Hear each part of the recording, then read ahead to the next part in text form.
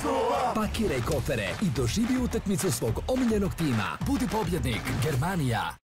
I pljas, 3-2-1 pljas, uh, UFC 308 iza nas, UFC Edmonton ispred nas, Hambi i ja iza vas. U full U gas. full gas, Nikola Spasojević uh, ide na nas, ali Ide nas. nećemo uspjeti jer je mali pas. Biće riva, ali da, ovo je bilo, ne i svima. ovo je bio freestylanje. Bio brutalno. UFC ljudi iza nas stvarno jest bio uh, odličan UFC, brutalnih mečeva je bilo, pričat ćemo o tome i jedva sam dočekao da Hambara i moja malenkost se ponovo družimo va- s vama u ekstra rundi Power by Germanija. Hambać moj, kak si ti meni, buraz? Pozdrav, sorry ljudi, odmah gledam ovog, ovog Jo- Jonata Diniz. To ti je kickbokser. Da, 7 KO, 1 decision. Da, zanimljivo. Pozdrav ljudi, pozdrav svima koliko vas ima. Evo, Marko je odradio freestyle rima i nadam se da će vam biti ugodno svima. Čekaj, ja nisam uopće, sad smo tek skužio da su ljudi se napalili što smo ja i ti prošli put imali raspravu. To je nevjerovatno, buraz. A dobro, Pa ljudi ne pa- kuže da ono da, da, da, da, da se mi ono volimo, da smo prijatelji. I to Pa mi se ono, pa pa mi mora- smo se već pičkarali preko Whatsappa joj. oko toga. Da, da, da, I onda da. tu, ali to je ono, ljudi, to je normalno. Ljudi, ono, da pa- vam ja pustim zvučne poruke naše, to je... To je tri put gore Tri od put ovog. gore od ovog I šta, i onda sljedeća poruka je, buraz, idemo jesti ili šta Da, ćemo, da, da. ono. Kaj brijete, se- ljudi? Nemojte se napaljivati bez veze. Hambara i ja smo uvijek ono jedno. To je od uvijek tak. Mi smo Da se ne toliko- vraćamo uopće baš puno na tu temu, ja sam baš ljudima napisao u, u- na komentaru da ja i ti, Buraz, bit prijatelj s nekim. Znači da može reći i loše Pa i dobro. normalno. Znači, stari, koliko puta si meni znao doći reći, gle Hambi, moram ti reći, to i to, to me smeta, ja bi se možda na početku nadurio, ali bi kasnije rekao ono, dobro, ok, dobro, u pravu si. Znači, to su te neke stvari. Pa ne možeš sad jebote, ti mi kažeš kak je, ili ja tebi kažem, sad više ne pričamo do kraja života. Ali ne samo to, Buraz, ja i ti smo, imaš neka prijateljstva kad koliko si toga prošao zajedno da ne možeš više s nekim ne biti prijatelj, da koga god se dogodi. Da, Jer da, i ti da, imamo da. takvu prošlost, ono, nevjerojatno šta smo sve prolazili, di smo sve putovali, ono, to je nevjerojatno. Hambi i ja, ljudi se znamo pun kurac godina i stvarno smo intenzivno se družili. Tako da, ono, bilo je svačeg jebote iz Hambijeve strane i s moje, ali uvijek je. sve pozitivno. Tako da, Pa da. ali al dobro je, danas ćemo onda opet imati ovu napaljujuću raspravu, očito vas to pali, vidim da je epizoda bila dobro gledana. Koliko je bilo gledanja? Pa ne znam, 30.000, ovaj. Ali kojiš, ali to što ti stigneš, to je u tri dana praktički do eventa i to je to, u 30.000 u tri dana, to je super. A nekakve one tvoje analize e, i moje analize, one kad smo pustili, imaju po par sto hiljada pregleda svaki put.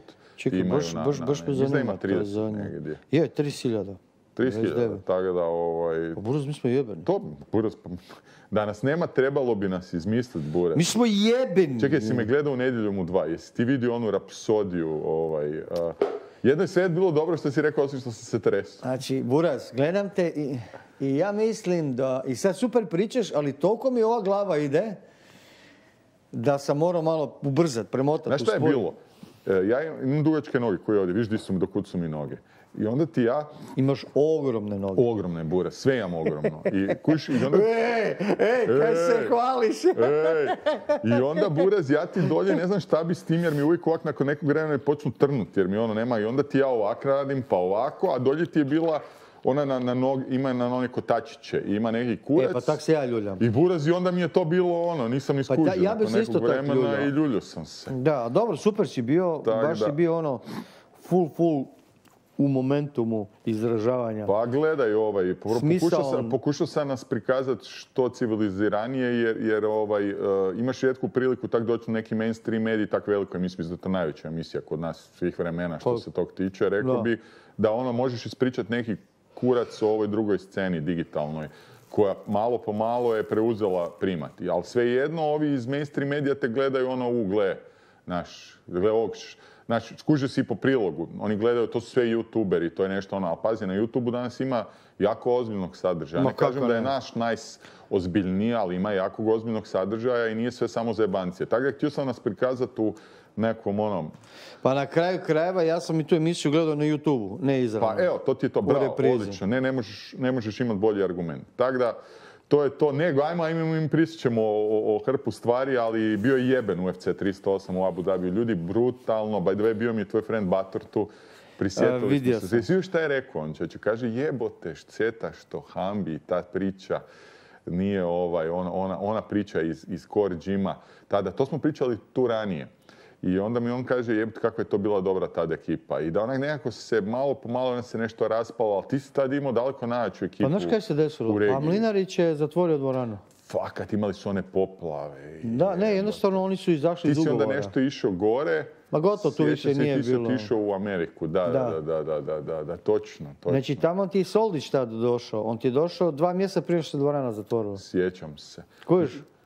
A do tada pokrajac, svi su prošli kroz dvoranu i Luka Jelčić pokrajac, Forgač. Nema ko nije bio Trušćeg. Vrate, svi su bili, Spahović je dolazio tamo. Ne, A uh, on se najviše prisjetio Tadije Majića. Tadija je bio, čuj, Tadija, Jakob, oni su, ma nema ko nije bio. Znači nema ko nije bio. Sjećam se i Sma- S- Smiley je bio kod Smiley je tebe. bio, da, da, da. Trušček, Iljaš. Porgi, Reljić, uh, Poki, uh, znači... Riko Rodriguez je dole trenirao. Kako se onaj mali iz, iz Varaždina zove? Iljaš. onaj? Iljaš, da Iljaš, specijalist za, za, za, Da, pa ne, za pa ne. submissione. A pazi što, se, što, što, što sam baš diskutirao s Bakarom. Rakas. Rakas, zaboravio sam njega. da. Teško je stari imat dečka koji je bio mlad ko Tadija Majić, a koji je imao dvije specijalke, heel hook i high kick. Bolesno. I, znači, stari, kad ja sad pogledam iz današnje perspektive, kak je on bio građan za Velteraša, koliko se volio šorat, koliko je bio tehnički dobar. Mislim, za ono vrijeme, pazi, to su druga neka vremena. Da. Danas svi imaju po tri trenera, bog te, ima trenera za trepavice, ovaj za usne, ovaj za... Ovaj, kužiš kaj ti hoću reći, ali onda si ti to sve sam radio i lik je bio opasan, imao je dve čak specijalke i to odlične specijalke. On bi te čak pustio u mount na vuko, bi te burza, bi te heel hookao Da, uvijek. da, da, da, da. A high kick je imao brutalan. I onaj meč protiv Saše Drobca i dan danas je kultni na ovim prostorima. Da, da, da. Ma znaš šta ću ti reći? Tadija Majić, evo možemo se malo njega dotaknuti. Evo, sad je desila mu se ta tragedija, malo je sve nebitno. Ali kad bi morao uzeti neko ko je, ko je kompletno građan, koji je kompletno, o, po, znači koji je rođen za, za te stvari, sve imao, znači sve preduvjete je imao, samo imao te neke privatne stramputice koje su ga odlačile od, od fokusa. Čak nije privatno imao, nego koliko je on to doživljavao tako. Da, znaš, on, nažalost da je, da je on to malo drugačije sebi posložio. Taj dečko, to je znači lud, jak, talentiran, tehnički dobar, fizički građan, ono ge- genetsko čudovište. Uh, mogao je skinuti na 70 kila bez problema. Je, je, je. Da, on, je, znači- on, je, on je bio onak idealan za Pa oni je su ti za future skidali kile. Znači, ovi svi umiru, a njih dvojica skinu ono 12-13 kila ono sa smješkom. On zajedno su skidali kile, ja sjećam za opatiju. Kroatu smo zaboravili. Kroata, pa Njega bio je i Sadiković. Asmir. Sadiković. Znači, nema ko nije bio u toj dvorani. Ti si stvarno imao je, čovječe ono, hrpu ekipe. bilo je- I bili su dobri sparinzi tamo.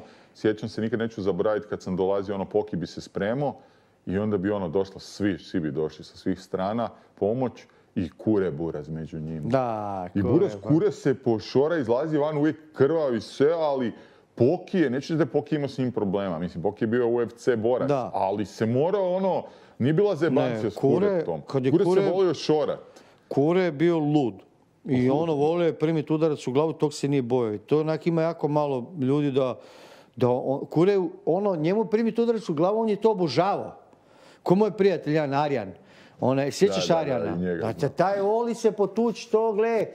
gle, ste- To ne mogu objasniti kako se neko voli potuć. To je jednostavno u njemu rođeno. Tadija, svi su oni ono, ovaj, ali Kure baš bio po, ono, po tom pitanju ono, van serijski. Tako da, gle, bila je super ekipa, ali gle Ima si ova dva mala brata, Filipa i... uh, Mark, Filip i Mark Šarić. zaboravio, Mark Šarić. I oni su bili, tako je, da. Do- Onda imao si onog Marijana Buras koji je sparirao opet s Pokijem, sa svima ono, Da, grdosi. da, da, Taj da. mi najjače udario... Patalen je bio isto. Ko? Patalen. Patalen, evo te njega. Patalen. Patalen je bio talentiraniji od svih.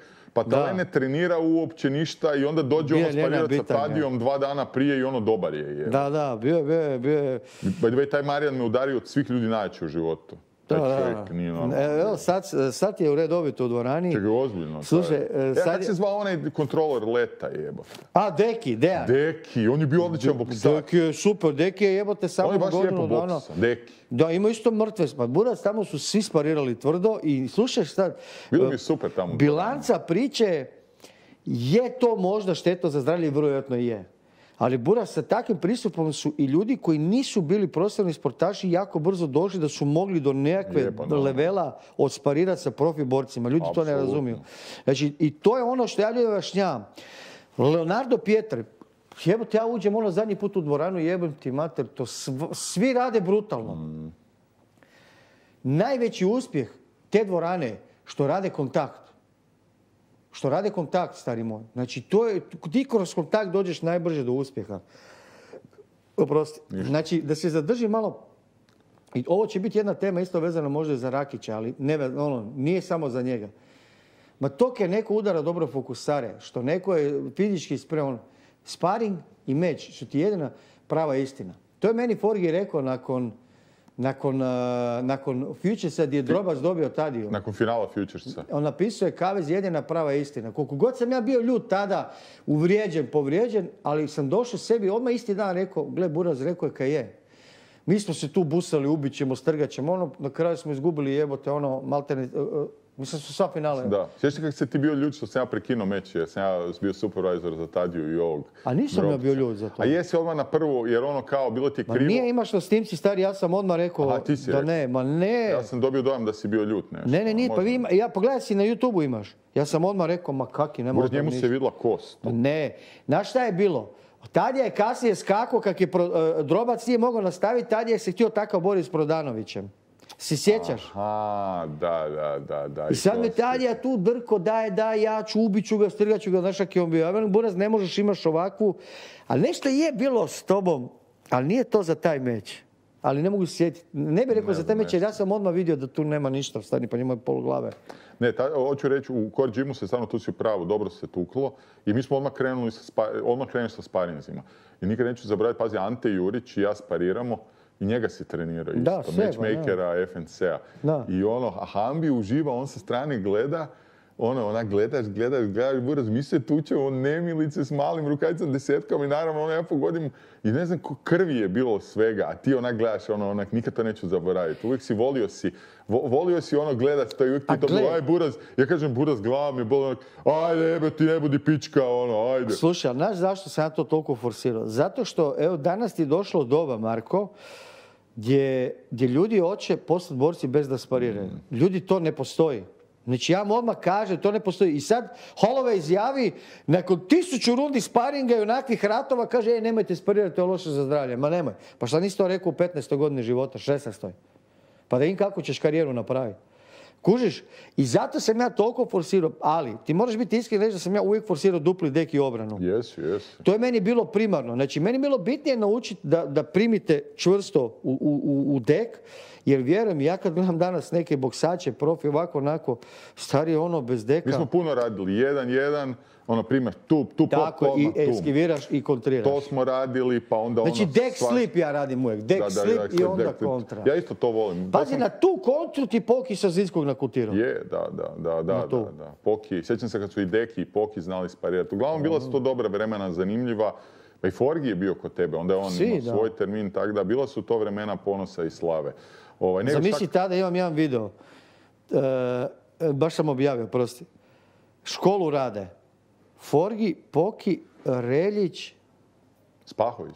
Ne, ne, ne, ko je bio četvrti? A može biti da je Spahović ili Luka Jelčić. Ej, Luku smo zaboravili, jel? nisam sam ga odmah spomenuo, Luka ja Jelčić, da, da, da. Pazi, i Spahović je bio i Jelčić. Pa Da. ti si imao stvarno dream team, čovječ. Da, da, da, Ti si čak išao dolje trenirati Mariju, Kristijana Perika i Račića i Deliju. da. Sjećam se i toga, oni su te uzimali jer si tad bio ono, slovi si ko najbolji stand-up trener, jebi ga i onda si dolazio i dolje, sjećam se. Svašta nešto se Ja tad bio sam s. Delijom i ekipom trenirao dva puta u Dubrovniku. Kak mi je bilo dobro. E. Ja nikad u životu u Dubrovniku nisam bio dok me Maro nije pozvao. I ono, ljudi mi sredili u nekom hotelu, jebote. Prvo sam, ne, prvo sam došao sa, sa Pančem i ovima. U centru Dubrovnika smo spavali, još je bilo dobro.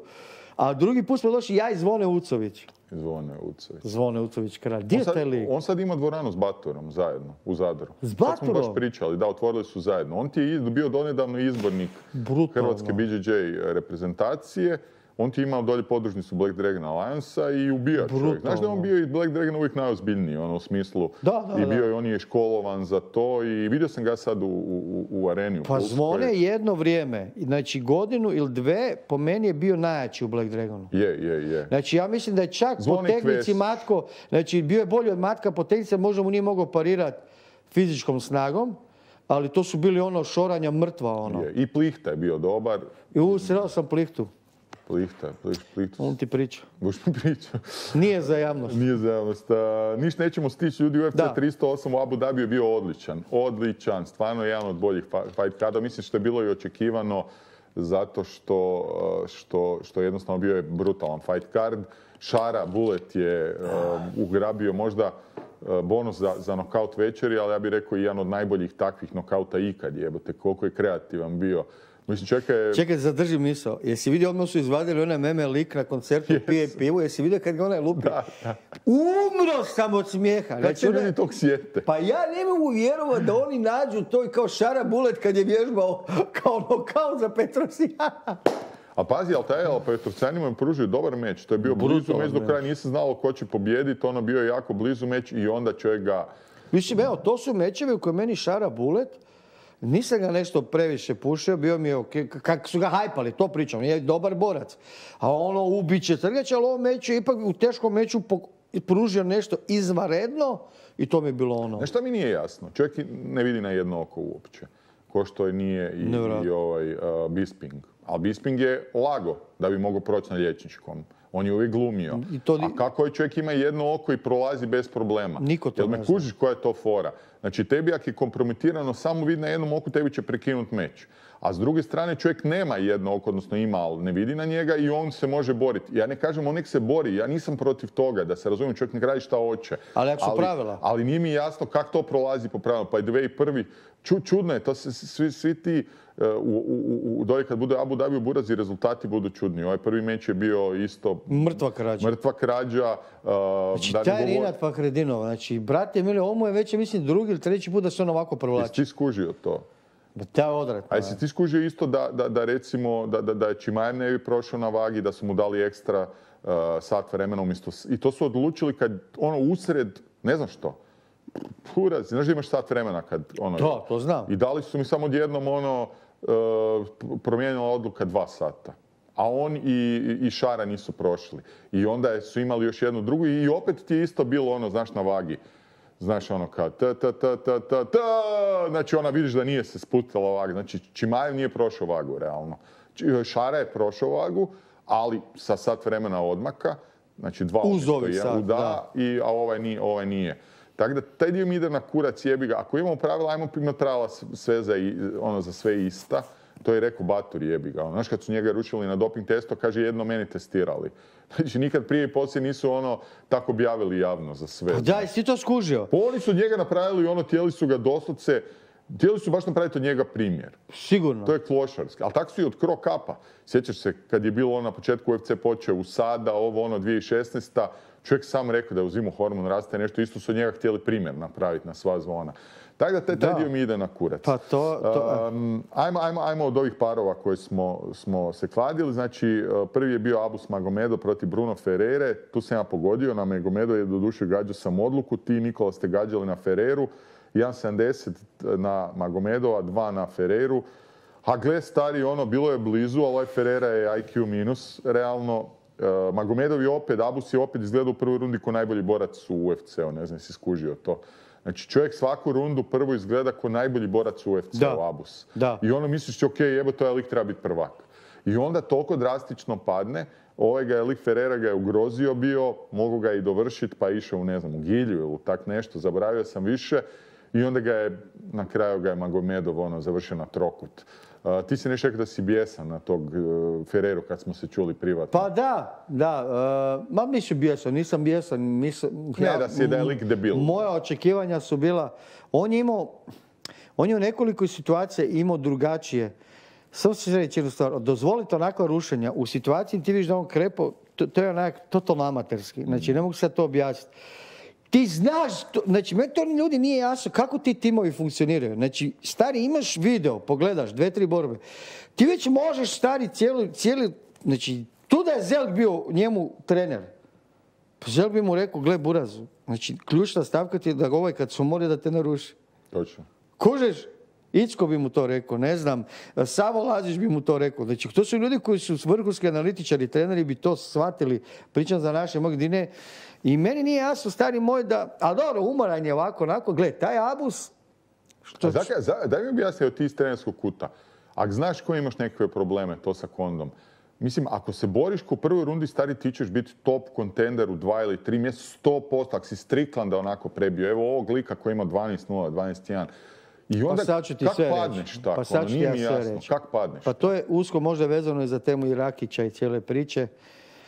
Ljudi, to vam je ovako jednostavno za shvatiti. Ja sumnjam, iskreno sumnjam da postoje u tom levelu, ja mislim da sam ja o tome već jedanput pričao za boks. Probaj se sjetiti. Da postoje, znači kad boksač postane svjetski prvak ili kad boksač postane prvak svog grada, dvorane i nečega, znači, o, evo, mogu se malo zadržati. Možeš, kak ne? Da. Ja mislim da treneri gube svoj autoritet pod pritiskom zarade novaca. Da ne izgube borca. Tako je. Jer kuša se tu radi. Apsolutno. Znači ti onda pristaješ na kompromise. Stari, e, to sam u hrpu primjera vidio. U hrpu primjera, samo u rijetkim slučajevima, evo kod našu spomenut Lea, to, to nisam vidio. Jel me razumiješ? Ok, nema veze, moj san je biti svjetski prvak. Sad će meč prije svjetski, ok, ajmo se razići. Ako to ne ide. Znači, ljudi pod pritiskom tih stvari, da zarade ogroman novac, ili... Pazi, ja mislim da Zelk nikad ne bi pristao na nikakav kompromis. Zelk, recimo. Nema šanse. Nema šanse. Recimo, on je baš takav lik. A dobro, još, Zelga ćemo još testirati, jer on je sad, mislim, da sad Zelg se ne uvrijedi, Zelg će sam sebe dovesti sad u situaciju gdje će se testirati, jer sad ide... Dobra stvar kod Zelga je što on takav autoritet. Gledajte ljudi, Zelg je autoritet da te prebije. Da, baš to. Znači njemu jebote da dođe bilo ko u dvoranu, on će ga prebiti. Istina. Kužiš? I to je drugačiji autoritet. Znači, tu nema zajebanci. Znači, Zelgi još uvijek, Zelgi izgleda sad jače jebote nekad je bio prije. Bolesno je Znači, Frer ima 100 kila, buraz, ono, lud, jak. Frende, Zelga sam kad vidiš s onim nosom, samo kažeš, ok, hvala, sam povećaš postotak, jebem ti mate. Kažeš, koliko si rekao, Zelg, 10, evo 30, samo da smo dobri. Ali bez jebance. Ne, Zelt je jedan od likova koji je najveća suprotnost tipa kak je dobar čovjek od toga kakav može postati. Da, da, da. Znači on je baš buraz, Da, ma ne, pa on ljudi... je baš, on je ono... on- ono kad smo mi bili u podcastu, i Zelg je ispao ono šaljiv, super, Je. i on, on je takav Je, lik, i on on je je ono zebat dobar. Ali vi ne znate, recimo, vi Zelgovog stanete na žulj. Buraz moj. Čovjek po demoni jebe majku tu porazbija 20 ljudi evo. Dobro, hoću ti reći, znači postoji drugačiji, sad ti naš ono buraz, kaj ću ja jebem ti mater, ne treniram, ili neki tamo trener, ovaj onaj. Znači, kuš hrpa trenera, kaj mu sam tuko s takvim sabusom, kaj mu se ti tuko tamo. Znači, ti sad unatoč tome, ili ga možeš poterati iz dvorane, ali opet si misliš jebote možda, možda, možda će on ustati, hajde pa da prođemo. Pa čak i Leo pričao da je pristao na neke manje kompromise. Je. More je. Ali je rekao to ću pristati jednom i ne više.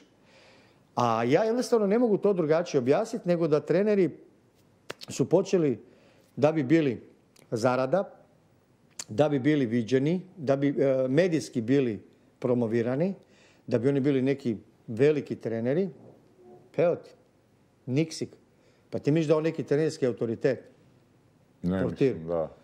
Ko on? Pa možeš mu pišat po faci ako mu vrtiš novčanicama, 100% te ne, ono, nemaš problema s ničim. Mislim, ima razumiješ? Apsolutno. Ne on, Ček, hrpa ti misliš da u biti nje- njegovi treneri jednostavno ga ne mogu natjerati da, da, da se bolje spremi?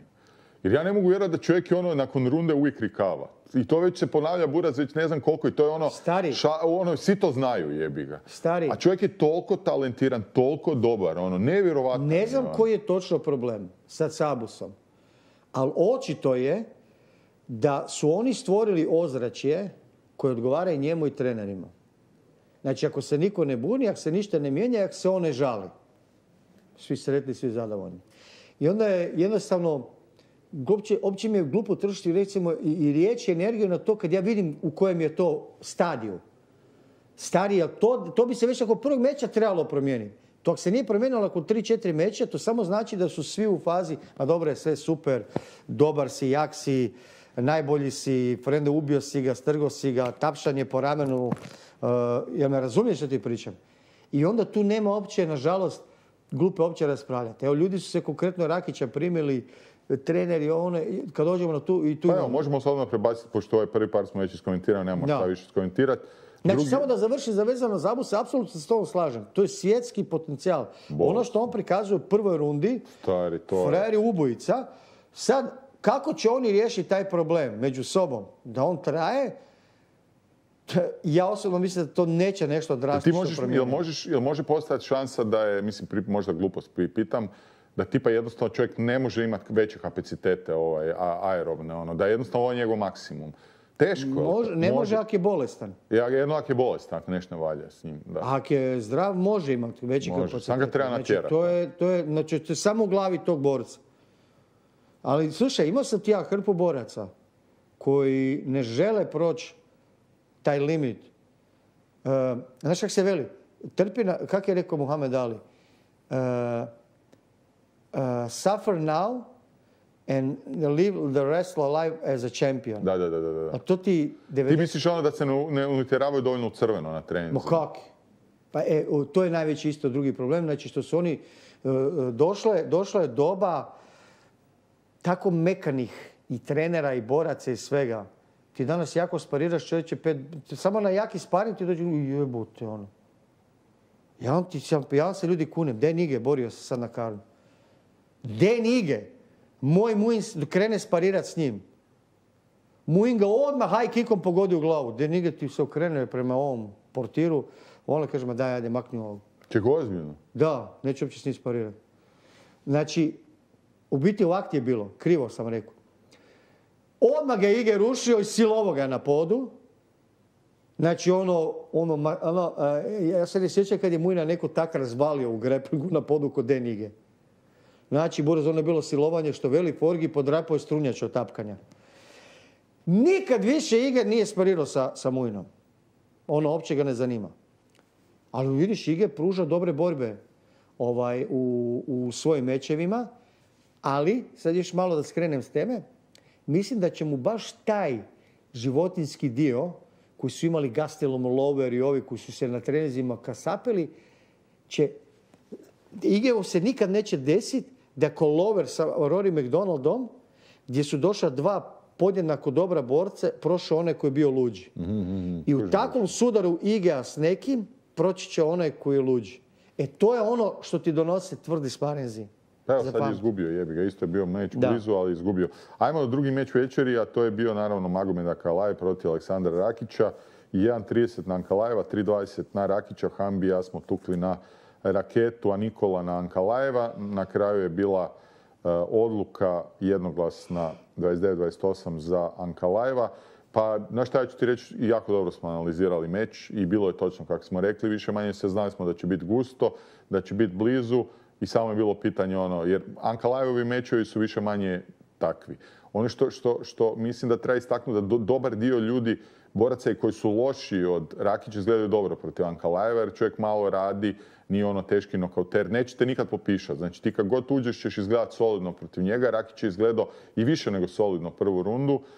Nakon toga je po meni izgubio čisto dve runde. Um, ono što, što šta, ne, ne znam šta bi rekao što u njegovom nastupu um, bi- bilo je blizu, ne mogu reći da je to bilo loše, to je ono krivo, je loše je bilo. Nije bilo Nije, loše, ja- ovaj čovjek je broj jedan na svijetu iza prvaka i nije, ne, ne možeš nikako reći da je to loše. Ali one neke stvari koje sam očekivao da će biti bolje, iz prošlih mečeva nisu bile. I to, to, taj dio mi je zasmetao u smislu moje analize. I mislim da je ono govorio raketa 3-0 ili 4-0, sad ćemo, ok, kon- kondiciju je stvarno popravio, nije imao problema sa kondom. Do kraja kreto se pun kurac za tak velikog čovjeka, toliko se kretat unazad, izlazit van, to je užasno teško ljudi i svaka mu čast bio je spreman, ali mu je falilo, cijelo vrijeme se povlačio, čak i protiv Ankalajeva. Um, opet je udarao sve sa zadnje noge, previše je kalkulirao i jednostavno nije se u nijednom trenutku, čak i na kraju kad je bilo jasno da gubi meč, nije se išao potući. Pa nije njemu bilo jasno da gubi meč. Pa to, to sam skužio, ok, to, to je nama bilo jasno, ali iz kuta nije bilo, o- zato što su mu tako rekli. Tako da te neke stvari, Bojke, mislim da raketa mora drastično promijeniti pristup ako želi napraviti nešto stvarno što on misli da može i što ja mislim da stvarno može. On mora napraviti stari ono ogroman kat, jer ovo sad je već, ja mislim da 3-4 godine nema pobjedu, plus što e, konstantno u mečevi izgledaju jako slično. Znači on je odličan i svi govore u jebote kak si super, sve super, a ti na kraju izgubiš mečeve. Tako da mora jednostavno skužiti da ova sad nekakva formula koja je ovakva, ako hoće napraviti, mislim ako on hoće ostati stari, vidio sam da je dobro zaradio para, mislim da on neće dobiti sad otkaz, možda će dobiti jedan meč Ma ne neće sigurno, ma neće sigurno. Uh, dob- ako dobije sljedeći meč, onda si opet će imati par mečeva i ok, ako ti je to ok, da si negdje ono, taj neki gatekeeper, super. Ali ako hoćeš stvarno zagristi ići na, uh, na titulu, ja mislim da treba drastične promjene. Evo ja ću ti sad reći svoje viđenje tog meča. Znači ja neću sad uopće reći da sam ja nešto razočaran. Znači ljudi malo, gledajte, ljudi, ljudi su ga ono iskasapili na, na internetu. Mm, to je Znači, isto bez veze, slažem se. Ubili su ga, znači, gledajte ljudi. Ajmo sad malo spustiti loptu ljudi zemlju. su, sorry, n- pa Da. nastavi. Ljudi su nerealni jer ono kažu, je, Rakić je loš izgleda. Nije loš izgleda. Ne. Rakić je bio dobar, dobro se borio, ali kao i u nekim drugim mečevima, nešto malo je nedostajalo i to je to, niš drugo. Ovako ću ja reći. Prvo je osobno, meni je Ankalajev izgledao jako dobro. Znači, ljudi možete pričati što god hoćete, Ankalajev se ne boji ući u razmjenu udaraca. Znači, to je jedna prva stavka Ne koja boji ti se, je, da. ono, jako bitna. Sad, neko ko se ne boji ući u razmjenu udaraca koji ide i ko može, gledaj sad, nije samo stvar ne bojati se ući u razmjenu udaraca, nego da u toj razmjeni udaraca ne popušiš, ne, kad dobiješ udarac da se ne uspaničiš. Znači, to Ankalajev jako dobro ima, no što ću ti reći, jako me boksački iznenadio. Solidno, ono, On uvijek, do- on uvijek stari takav, ne, ono, ono, solidno. ma znam, ali nekad je, nekad je bio ono... Bio je futa. previše rezerviran, slažem se. Ovdje nije bio. Da, i gledajte ovako, prva runda je bila dobro. Po meni čista runda za Rakić. E, na šta najviše žalim? Što nije Hrvo više u žicu. Gledaj sad ovako. Onda je drugu rundu otišao Hrvat u žicu. Ono što je u trećoj napravio, kad je krenuo malo Hrvat. Nebitno ko bi tu, znači vidjeli smo da Kalajev ne može rušiti. Mislim, ne može. Nije ga rušio, ni ovaj njega nije. Ali u tom hrvanju bi došlo malo do umora. Ako si ti spremniji od njega. A znamo da jesi, znamo da Kalajev krpava. Mo- m, nakon prve runde on je trebao drugu rundu od Hrvat. I sad, ovdje je jedan faktor koji naravno su mu, ja da sam mu trener, ja bi mu rekao stari sad treća runda, ne, neovis- ne sad ovo, govorimo o scenariju da je Hrvo drugu rundu. Ja bi mu rekao sad stariji je čovjek umoran, moraš ofenzivno napast. Kužiš, Ne- znači ja bih rekao ovo je jedan u rundama ofenzivno napad, a bit će ti lakše. I ja bi to razvio puno prije, jedan takav scenarij. Da prvu rundu odradi sa tim kikovima, ono baš mi je onako izgledalo jako dobro.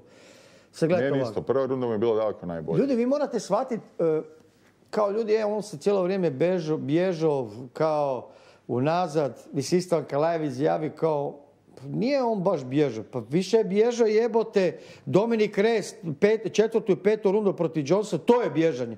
Gdje se čovjek okrenuo i trčao je. Rakić se borio defazivno, mislim, Znaš, hoću povući paralelu sa Beterbijevim i Bivolim. Kao Bivol je cijelo vrijeme bježao od njega. Pa nije, tak se čovjek boksa, tako se bori. Pa Rakić se bori inače u stojci na taj način, da je sudržan. Znači, on je nakotirao Manuvu. Nakotirao Manuvu stari iz, iz jedne kombinacije. I zaletio se. Zaletio se. Znači, nije on nikad bio jebote borac Rakić da se ule- uletavao brolanje. Jer me razumijete šta pričam? Tako da Rakić se borio kako se inače bori. Po meni je trebao drugu rundu kompletno probati ići Hrvat. Em da čovjek se izmori, em da testira, da vidi na kojem je to nivou. Pa možda čak i ako se ove umori, mogu bi ga u trećoj rušiti. Pa nije to nemoguć scenarij. Ali svakako bi imao umornog Ankalajeva u trećoj. Umorni Ankalajev u trećoj ne bi mogao tako dobro boksati. I on je mogao tu onda u stand-upu napraviti više. E sad, vezano za ovo, mislim, ja to moram kritizirati. On, gle, ovo, ovo nevjerojatno da mu onaj Pastuh, Roberto Pastuh i ne, Babak, i o- o- oba trenera su mu govorili 2-0. Da imaju Pastuša i Babuka. Da, Babaka, znači da. oba dva trenera su mu rekli da je dobio 2-0 u rundama. Ljudi, evo ja sad javno to kažem, nek se niko ne ljuti. To je nemoguće da ti neko tako, ali gledajte sad ovo. Ljudi, ja sam vam imao istu situaciju sa Mujinom u One FC-u. Znači, s onim uh, Kevinom Bellingnonom, ono, frajer ubojica. Ja već ako prve runde kažem Muinu, gdje je runda mogla otići na bilo koju stranu, ja velim Muin, izgubio si prvu rundu. Ma moraš mu to reći, zato što boriš se sa Tajlanđaninom u, u Mijanmaru, ono, država pored Tajlanda. Je, zikar će tebi neko dati tamo pobjedu. Kušuci su takvi, to je tako. I ti se boriš sa Kalajevim. Uvijek ste mislili da je runda blizu. Trebao si mu reći da je izgubio. Vjerujte mi. To su mi svi znali. Pa, ne, ne, naš ono. E, to je takav kiks. I ne treba se bježati od toga. Znači, trebaju doći treneri i reći, ljudi, napravili smo kiks.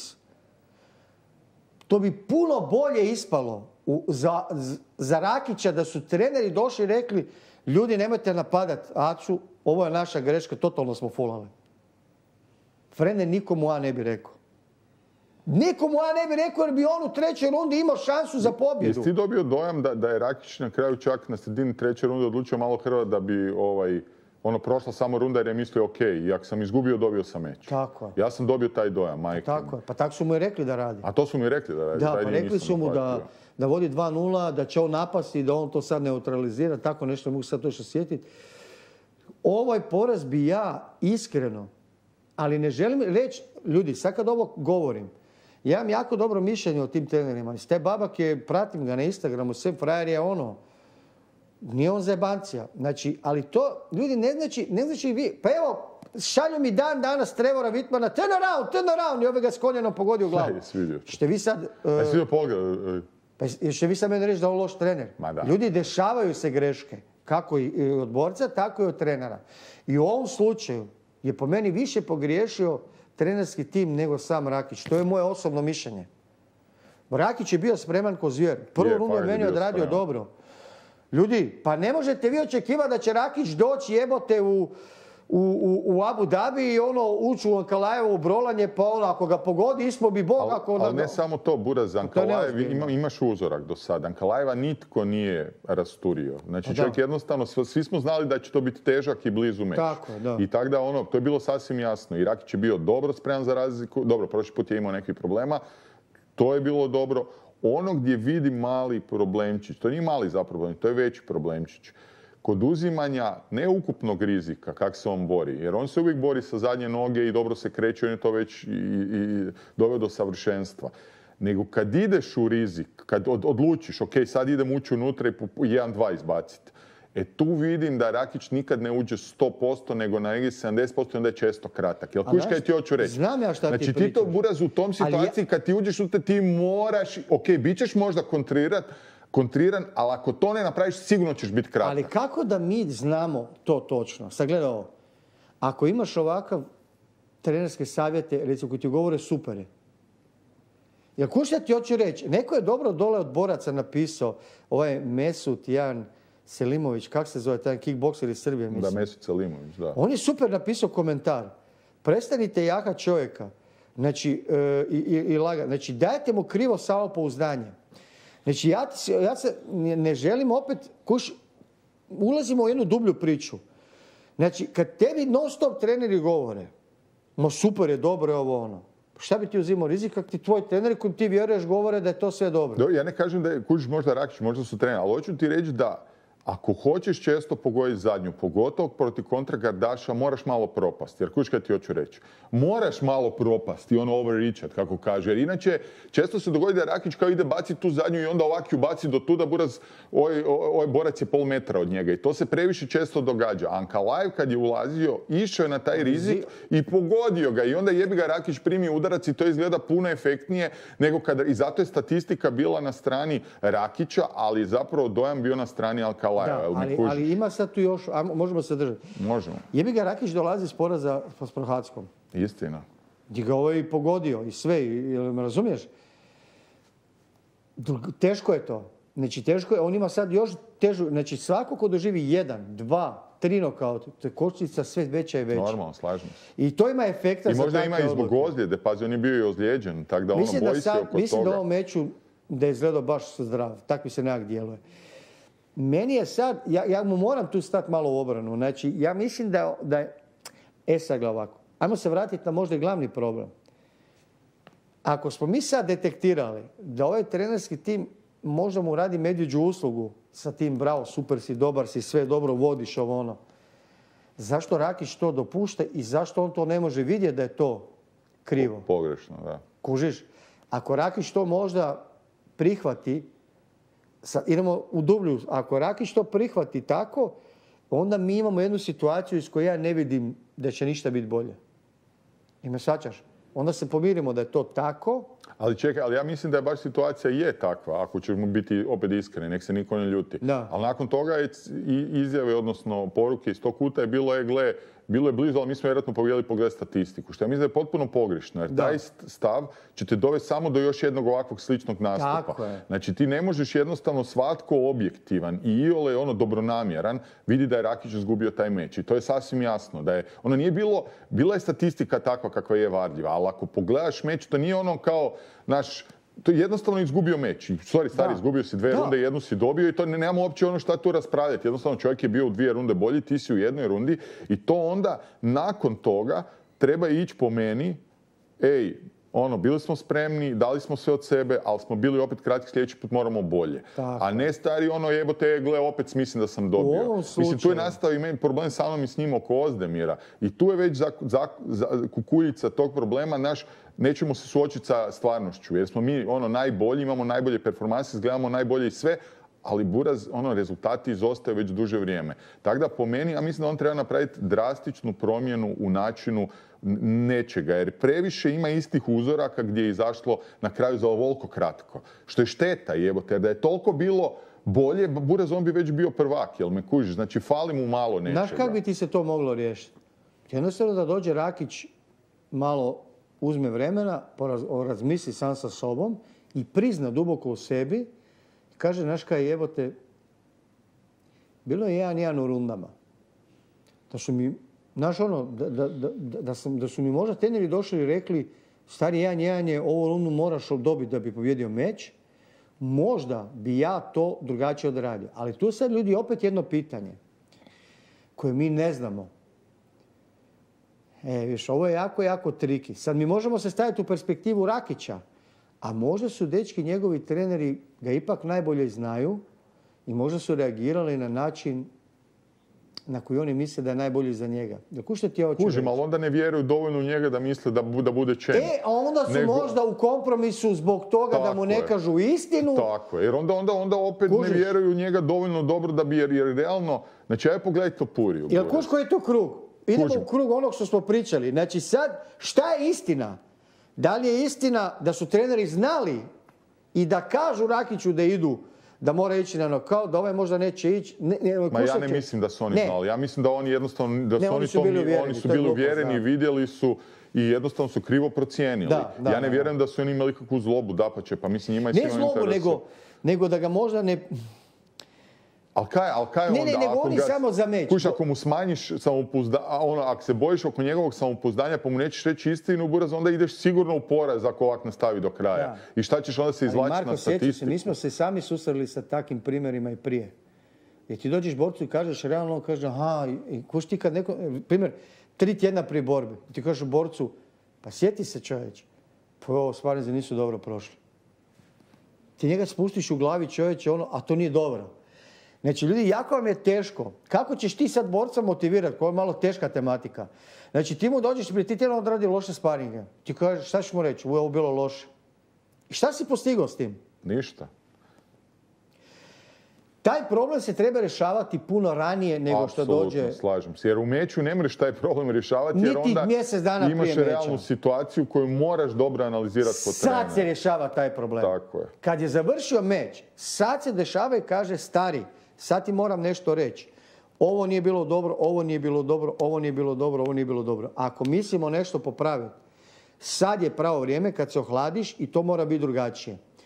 Znači, sparinzi nisu bili dobri, ali šta da tebi sad kažem, mjesec dana, oni su isparirali tri tjedna prije meča. Kuš ti njega spustiš u glavi, a kažeš da je loše. I svi ti oni padaju. Jer šta će on, šta će on tebi vjeruje, on će reći.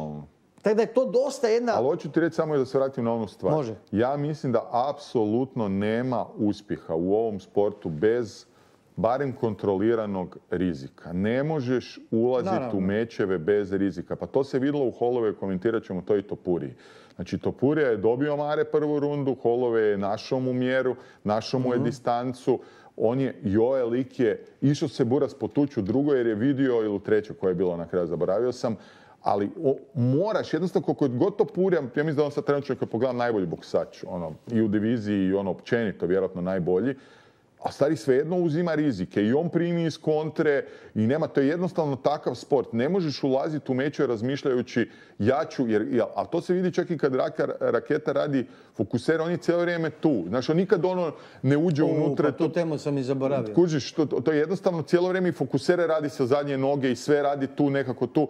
To je okej, Buras. Takvim načinom nećeš nikad nikog nokautirati. Jednostavno, možeš se tak boriti većinu vremena, ali onda, onda bar, onda bar nauči da nauči dobro kontre. Kad neko propadne, znaš da onda zna mijenjati, kužiš e, e, težinu sa zadnje noge na prednju, da te neke stvari izradi gdje, je on dosta tanak. Jer, jer ja mislim da on jednostavno mora, jer gle, nje, kad ti pogledaš sve ukupno, to je sve jako dobro. Znači čovjek hrva dobro, grepa dobro, skikove ima brutalne, stojka mu je brutalna, spreman je, fizički on je bio još veći od Ankalajeva, mislim, izgledao je najbolje do sad po meni. Ali onda jebi ga taj nedostatak mali rizika i nekih tih stvari te uvijek košta pobjeda. Tako da po meni treba nešto promijeniti e, baš drastično u pristupu, zadržati većinu toga dobrog, još nešto malo izoštriti i onda ići opet prema gore. Jer ovako stari ne, ne možeš uvijek isto se ponašati i očekivati drugi ishod. Mislim da ja sad još jednu stvar napomenem, evo pa ćemo zaključiti tu temu. Može. Najgora stvar je, ako e, često pričamo o tome, to je ta komfort zona. Komfort zona je e, koju si borac stvorio oko sebe. I sa trenerima, i sa kampom, i sa sparinzima, i sa svime.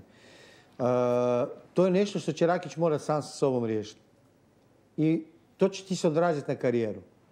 Ako izađeš iz svoje komfort zone i ako shvatiš, ja opet tvrdim, za ovaj meč veliku krivicu snosi trenerski ugovor, jer ovaj meč je bio blizu i u trećoj rundi se mogao preokrenuti meč. Jako je blizu Znači, Rakić mora doći, ne reći svojim trenerima jebe vam mater smeća, šta ste mi napravili, nego reći ljudi, ajmo ovako sjeti svi zajedno, sjednite ovdje. Volim vas, vi ćete uvijek biti dio moje ekipe, ali ovdje smo sjebali. Smo sjebali, ne vi ste sjebali. Ovdje smo sjebali. Imali smo jedan jedan u rundama, rekli ste mi 2-0, ljudi, bila je to greška, dogodila se, ajmo probati da se to ne ponovi. Ali ti misliš, oprosti što te prekidam, da bi možda Rakić trebao otići korak dalje i promijen, možda probati promijeniti dio tima ili tim. Ali teško pa- će se to desiti. Pa teško će se desiti, ali to bi bila prava, ja ne, ja ne to ne zazivam, da se razumijemo. To je njegova stvar, on zna kako mu je u timu. Ali ako pogledaš, stari, um, pre, predugo raketa izgleda potpuno jako, znači još od, Sant, od Ozdemira Santosa, izgleda uvijek isto, više manje. Znači, jel vidiš neke... Ali znaš što ću ti Marko reći vezano? Ja opet tu malo razmišljam, pokušavam, glavno Jer pogledaš ono... druge borce, bog te, ono, ono, baš imaš ono ima je, ima je teške ozljede, to je, je prva ima, ima I ti kad imaš teške ozljede, imaš već ti košice koje se nikad ne oporavljaju. Istina, istina. Doživiš nokaut, to ti je kočica broj dva. Istina. Znači ta promjena je uvjetovana teškim ozljedama i vjerujte mi nokautom. Znači te dvije stavke, on više nikad neće biti isti borac.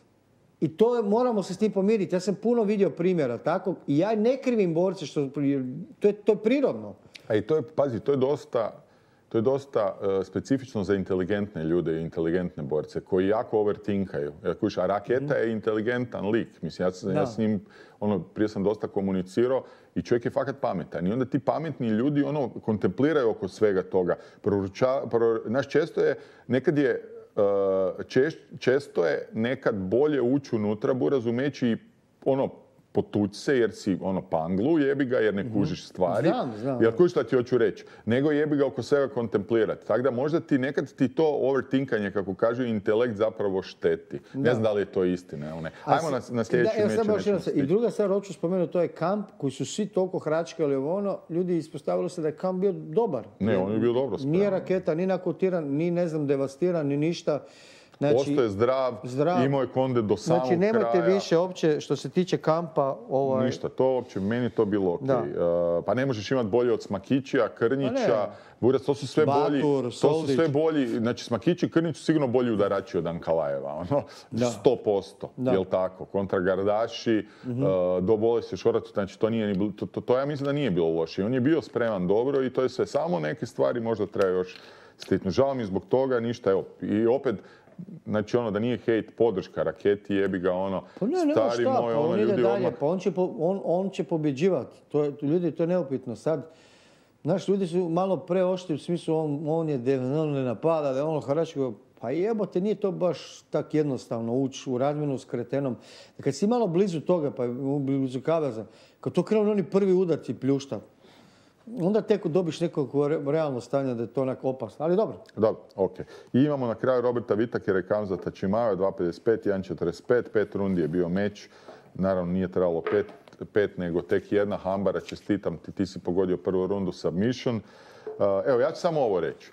Vitaker do tog trenutka, neću reći da je izgledao dobro, ali Izgledao je hrvački, Mislim, dobro, dobro bi izgledalo da je on ga nije uspio srušiti, razumiješ, to bi izgledalo dobro, odlično.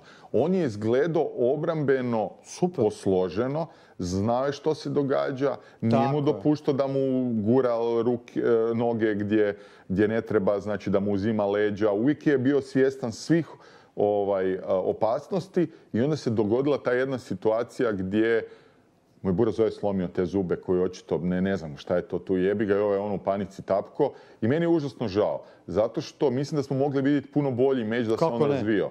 Jer da je to ušlo u drugu rundu, Čimajev ne bi bio ni pola ovoga, znamo to Mhm. već od prije, ima problem sa skidanjem kila, to znamo i sami.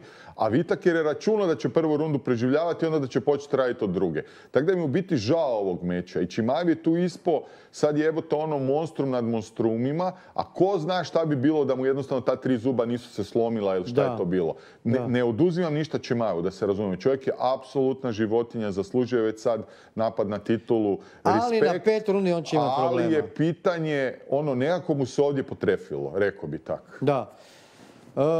Em što mu se potrefilo, em, radi pametno što radi najbolje. Znači on je full jednostavan lik, radi ono što zna najbolje. Apsolutno. Ali meni se Vitakir jako dobro branio. Je, je. Znači, e, nije mu slomio vilicu, nego Vitakir ima još od malena problema sa zubima. I u zadnjem meču sa Duplessisom, Duplessis mu isto stisnuo e, face crank i već mu je tu razjebao zube. Duplessis, ali nije tapko, uspio se on izvući iz toga i onda, i to sam čitao što je Vitaker izjavio, nije se uspio oporaviti očito do kraja i veli točno ga je Čimajev, ko da je znao jebote, di mu je, točno ga je tu stisnuo, veli odmah mu se razlohali zubi, ono. Znači puklo mu su mu, znači oni donji zubi, ja ne znam Da, donji zubi, ova tri su mu otišlo otišli, skroz kužiš, i to mu se Buras, to te razjebalo. panika uhvati, ne zna šta se Ma događa, meni je jasno, to no, razumljivo. to je-. A da se to nije desilo, ja sam čak i uvjeren da ne vjerujem da bi njemu uh, Čimajev zveknuo rear naked, jer uh, Vitakir Nije je ovo ni bilo ni blizu, staj, to je bilo skroz ova sve gore. se branio savršeno. Ja sam već bio u panici. Ja sam bio tak sretan kad ga s ovim završio i ovaj meč bi drugačije završio da nije bilo ove specifične situacije. A želim vidjeti Čimajeva na duge staze. Sad kažu svi Bo Nikal kao ovo ono.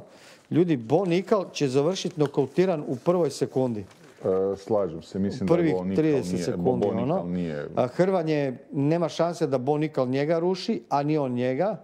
Ali će ga Čimajev na ruke ono ubiti u prvoj minuti će ga nakautirati. Pazi, kaže Bator, kad je bio u FD-u, bio je Čimajev gore. Da lik Hrva sat vremena u komadu. Ono, sa svim smijenjem. Da, je- da, da je bolesno. Da, da je ono bolestan Hrvač, to baš priča. Tako da, mislim da, da, mislim da, ovaj, da, da, da tek trebamo vidjeti, to opet to glupo zvuči, svaki put ono pobjedi Usmana, pobjedi Da. Burnsa, pobjedi Vitakera, pa treba vidjeti. Halburaz, Pobjeđuje. Znači, pobjeđuje, svaka čast, ali Usman je već bio ono, short notice i možda ga je pobjedio. Čimajev, Bože, Burns isto, bilo jako blizu meč. Burns se nakon toga raspo, jebi ga, više nikog nije pobjedio. A sad Vitaker se, o- ajmo reći da je to freak ozljeda bila ne, na neki način. Ali svejedno, da ne bi bilo Čimajev respekt, ja sam ga popljugatitis i to je to. Ajmo pogledat e, tablicu. I dalje vodim, ali jedvite jade. 21,1 sam je ja, jel tako sam dobro zapamtio, nisam si tu zapisao. Lovrinja. A onda je Hambi drugi sa 18,65. 75 i treći je Nikola sa... Ujebote, sve se zagustilo u pičku materinu. Tako da niš Hambi, ono, pušiš mi za vratom, ali znaš šta ću ti reći? Ako me ti pobjediš, bit će mi čak ok, ali ako me ovaj jazavac Nikola pobjedi, Buras, pucat ću si sam u noge. Znači, pucat ću si ono, sam ću se, samo ranit ću se jebo. Nikola ozbiljno prijeti. Nikola, I on, e, on će doći onaj vikend kad, kad je FNC. FNC u Zagrebu, onda ćemo snimiti, vajde u nedjelju će možda ostati za ponedjeljak, to ćemo snimiti kako ćemo Može. smisliti, pa će Nikola tu biti, jedva čekam. Naravno, Buraz, mi se zajebavamo, ovo je sve frendovski i ono, dosta ovaj trash talk, kako on meni trash talka preko Whatsappa, tak ja njemu sad javno. To je to. Imamo ljudi ispred nas, Edmonton, UFC Fight Night, izabrali smo tri para, bili su inače koeficijenti skroz blizu, pa su se sad malo razdvojili i u međuvremenu su doš- do, došlo i pet mečeva koji su praktički coin flip, ali nismo mogli promijeniti. Stavili smo naravno našu Ivanu Petrović, eh, Hrvaticu jedinu u UFC-u, eh, iako je malo je širi raspon koeficijenata na njezin meč, ali, ali ovaj, evo, stavili smo nju. Ajmo. Hambi. Znači Pa Ivana Petrović, prvi- a, Dž- e, znači Boris oprosti, protiv Jamie Lynn Hort, protiv Ivane Petrović, 1.47 na Hort i 2.55 na Petrović. To je prvi meč. To je prvi meč u undercardu. Jeva, ti mater u pičku. Znam šta će biti, ali ne mogu protiv.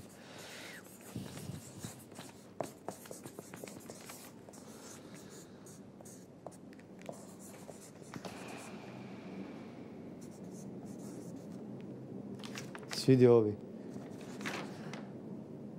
To sam ja razmišljao je moglo biti. Ne, to ovako. jedino, ne, na bodove sumnjam da će dobiti. Ja mislim da će baš gubit meč i da će onda submitut. Ja mislim da će, gle ovak, uh, užasno težak meč za, za- gledao sam Buraz na, na ovom, na, na Tepology, ono tipa 80 i nešto posto za Petrović, a za Hort ono tipa 17 posto, onak što je dosta iznenađujuće, a ova Kanadžanka je, je favoritkinja, um, Ajmo sad krenuti od Petrović. Znači 7-1 ukupno u karijeri, u UFC ima 1-1, 30 godina Hrvatica iz Mostara, pa nastupala pod švedskom, jel tak, zastavom, sad pod hrvatskom. Sjajna djevojka, bila je tu u podcastu, jako je gotivim, draga, posvećena, odlična borkinja, bivša prvakinja Aresa, tamo je dominirala i došla u UFC prije otprilike godinu dana. Um, ima dva meča u UFC-u. Prvo je poraz od Luane Karoline, što zapravo nije sramota. Ta Karolina je odlična i nakon toga je zaredala par ovaj, ono, velikih skalpova. Jebi ga što je ono, svaka čast, pazi ovo, tu sam se zapisao. Tri pobjede u nizu, znači nakon Ivane pobjedila Stolijarenko i Pudilovu, što ono, nisu bez veze borkinje i to je jedno od njih završilo, zaboravio sam koju. Tako da Ivana Petrović, ono, iako je izgledala očeno u tom meču i sama je tu pričala, da jednostavno ne da nije bila u tom, da je bila toliko impresionirana da je ono pružila 10%, ipak je nekako ostala do kraja u meču i nije izgubila prekidom. Nakon toga puno bolja pobjeda protiv Liang Na, Arm Triangle, treća runda. Doduše, opet moram staviti jednu ogradu, što me brine u ovom meču. Ivana je opet u stojici izgledala Užas. uskočeno, primala je udarce, sam je gledala, bacala je jako malo, još manje pogađala. Gledao sam baš statistiku, stari ona je debelo ispod prosjeka kategorije i po obrani i po defanzivi u stojici. Znači ispod prosjeka. Znači ono tipa jako malo baca, još manje pogađa, mislim da ima ono tipa 26% pogodaka rukama i tipa obrane je ispod 50% ili nešto tako što je ono, znači svaki drugi udarac. I to mi je izgledalo čudno, onak je bila statična i onak primi udarac, nekako sporo izgledala i tek je proradila kad ju je bacila na pod i onda je pokazala, u biti se opustila. I tu je izgledala puno bolje, ali opet i tu ostavljam malu ogradu i tu je radila glupe greške. Gubila je pozicije. Vidjelo se da nije još ona cura iz Aresa. Naravno i konkurencija je jača, ali da ono da je nešto koči. Ali ona je, ono što me impresioniralo, pak je našla načina za pobjedu. Na kraju je pobjedila curu koja je odlična, koja nije zajebancija i izdominirala ju i to ja cijenim. I tu vidim veliku šansu da bi ona mogla napraviti iznenađenje protiv Lian Hort, Jamie Lee Hort, Lynn Hort. Što se ove tiče druge cure, nisam znao, evo iskreno previše o njoj, Kanadžanka, iz, baš tamo negdje, tako da to, to je, ajmo reći, prednost. Ima 6-1 u karijeri, ukupno u UFC-u 1-1. A, ima nešto i amaterskog iskustva. Znači, pobjedila je Hailey Cohen i izgubila je split od Veronike Hardy. Jedini meč koji sam gledao je u ovoj protiv Veronike Hardy, Buraz gdje ženska je u stojici spora, rudimentarna, ona radi osnovne stvari, ali, i pogotovo kak je meč od Mico je padala, ali ono što moram i priznati je tvrda je, velika je za kategoriju. Pazi, Ivana je još veća od nje, ali ova mi se čini fizički jači i moćniji. Znači ono ženska i to me brine i taj dio jer, jer, ako Ivana, ne znam koliko će Ivana uspjeti, Ivana će sigurno ići na rušenje, koliko će uspjeti iskontrolirati dolje, jer ova ženska ono jaka. I mislim, nadam se da se bolje Petrović spremila u tim tranzicijama da ne bi gubila bez veze poziciju, jer tu će pozicije biti zlata vrijedna. Ako dođu dominantno, ono mora to ići iskoristiti. Ova ženska nije previše e, protiv ove Veronike Hardy, to je žene od ovog Dan Hardija, nije izgledala dobro, ono, ali ne znam kak je bio, po meni je bila Hardy čisto bolja, ono, nije bio split, ali ne radi ništa sad posebno. Ali Buraz ono ko, ono ogromna je, tvrda je, tvrdo to sve izgleda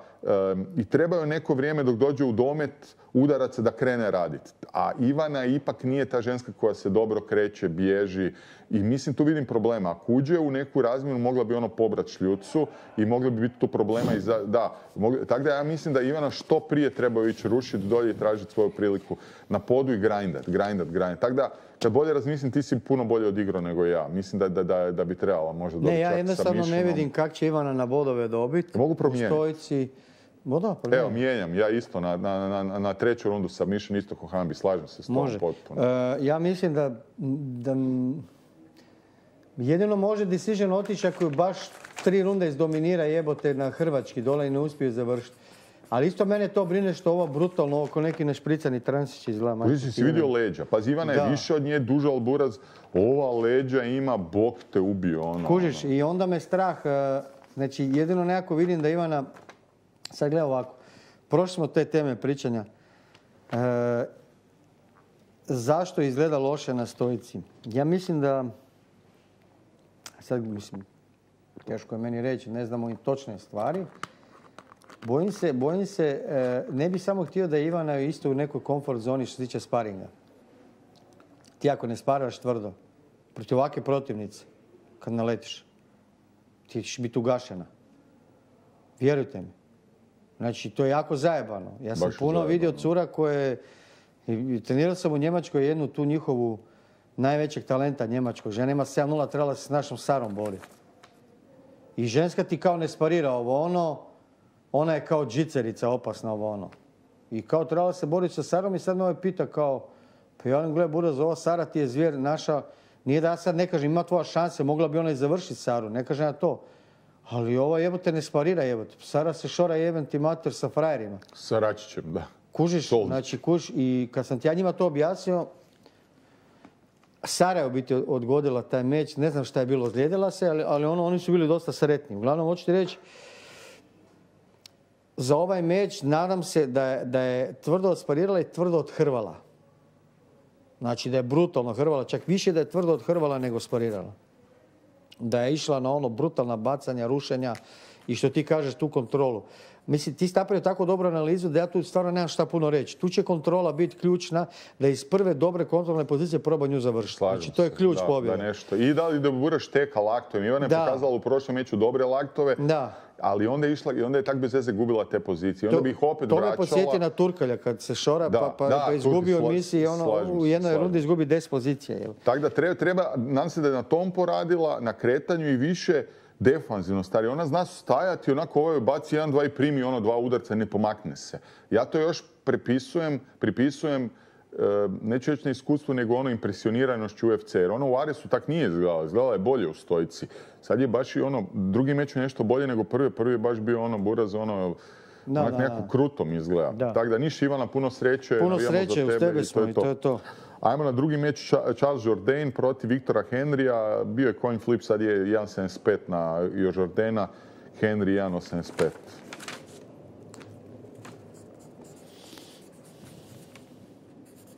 Sad malo, ne možeš pokazivati.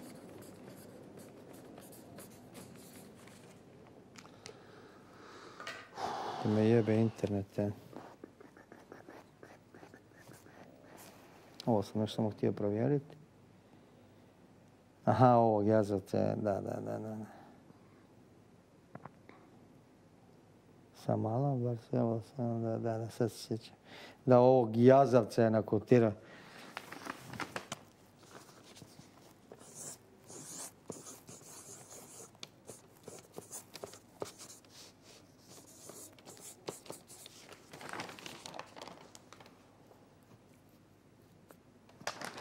Evo e, znači, blizu meč, fakat blizu meč. To je bio dugo vremena najbliži meč na fight cardu, sad ih ima drugih, pošto su se izjednačili koeficijenti zbog klađenja, ali bio je 1.85, 1.85 od početka pa do praktički jučer. Uh, Jourdain, 28-godišnji kanadžanin, 15-8 u karijeri, 8 nokauta, 5 sa Mišuna.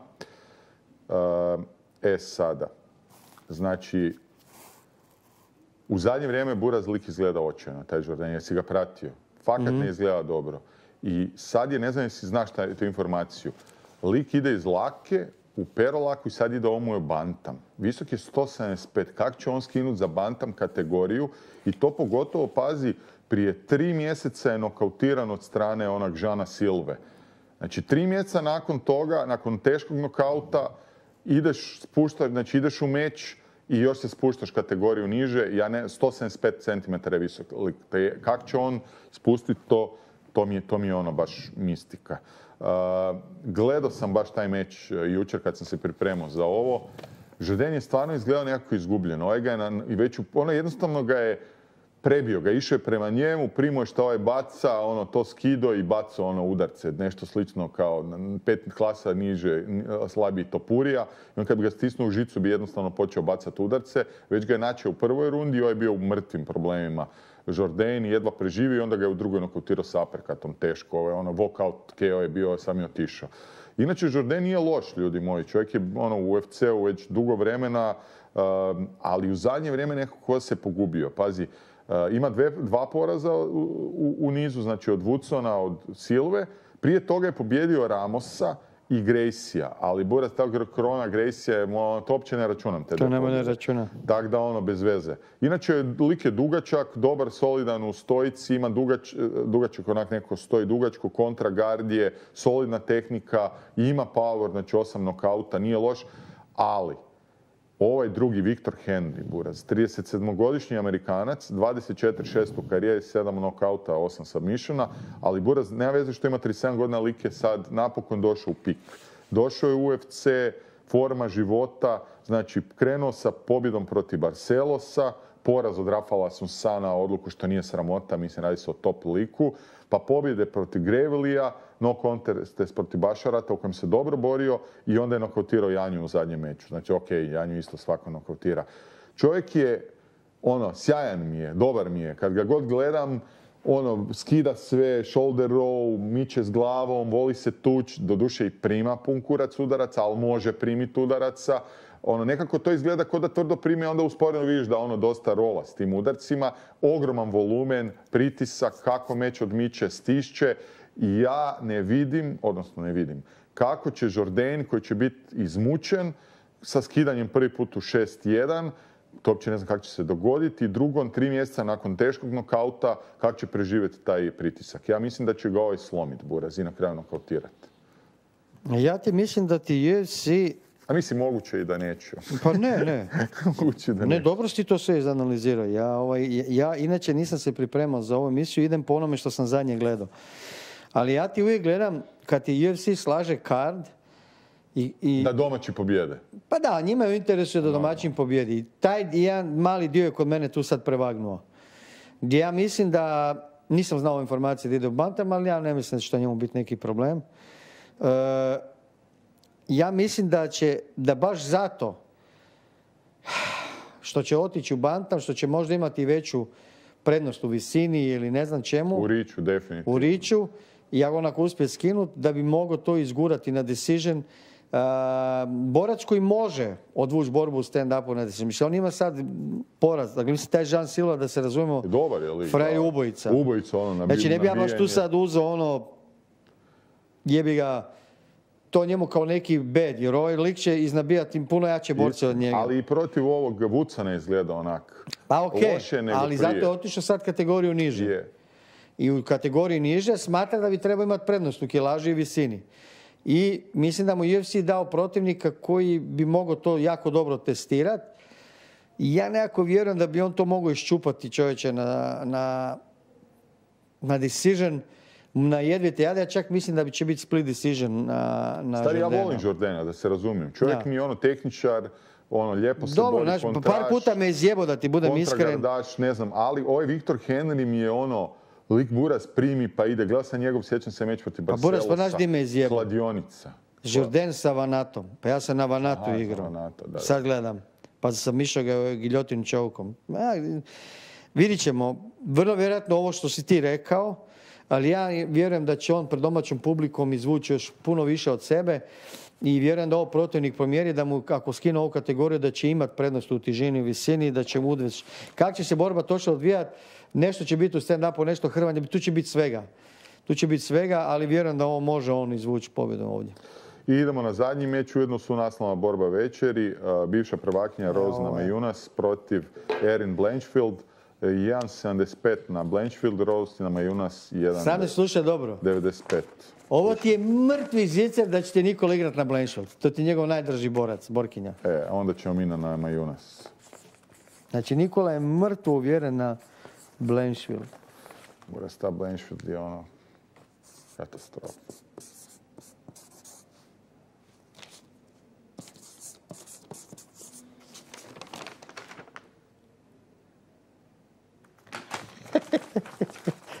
Buraz ovak. Znači, da se razumijemo, nisam nešto samo pouzdan za taj par.